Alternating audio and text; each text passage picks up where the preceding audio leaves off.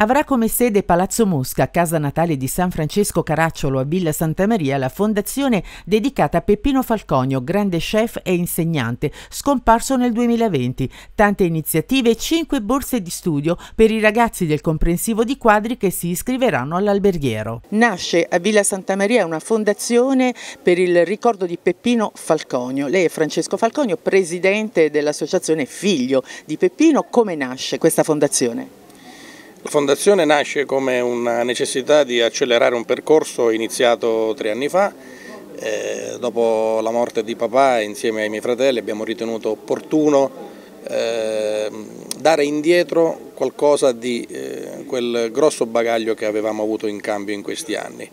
Papà era un appassionato dell'insegnamento, era innamorato dei suoi ragazzi e quindi mm, lo abbiamo vissuto quasi come un obbligo, quello di restituire qualcosa a questi ragazzi e quindi abbiamo fondato questa associazione eh, come strumento di erogazione di misure di sostegno agli allievi meritevoli. E dopo tre anni ci sono state esigenze nuove e consapevolezze nuove che ci hanno portato a questa forma di upgrade e, ripeto, e di accelerazione operativa eh, acquisendo la figura giuridica di fondazione. Insieme a Stefano, che è l'altro fratello, avete anche presentato numerose iniziative. Eh sì, il 2024 sarà un anno ricco di, di, iniziative. Sicuramente continueremo con le borse di studio, con la differenza che saranno non più in uscita, quindi per gli studenti eh, già formati cuochi, ma saranno borse di studio in entrata, in quanto abbiamo deciso di renderci interpreti di questa difficoltà che vive l'istituto alberghiero in questa fase di curva eh, discendente a livello di, di iscritti.